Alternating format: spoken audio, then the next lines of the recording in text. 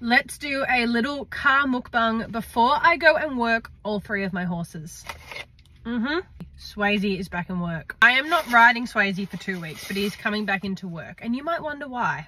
This month, you guys know I've had a lot of stuff going on and I have put on a bit of weight and lost a lot of fitness and a lot of muscle. And I don't want to ride my four-year-old that has no top line until I feel like I am fit for him. This is something I am incredibly passionate about and I talk about all the time. It's not about being skinny. We do not need to be skinny, but we do need to be fit for our horses. And I am not fit enough right now to be riding a young horse, I don't believe. So I'm going to spend two weeks long reining him, getting him fit, getting some top line on him and next week I'm an ambassador for the next round of the Global Fit as FK Transformation Challenge, which I'll be taking part in. If you want to do it with me, there's a link for it in my Linktree. Winnie also has a show in two weeks, so I want to be fit for that.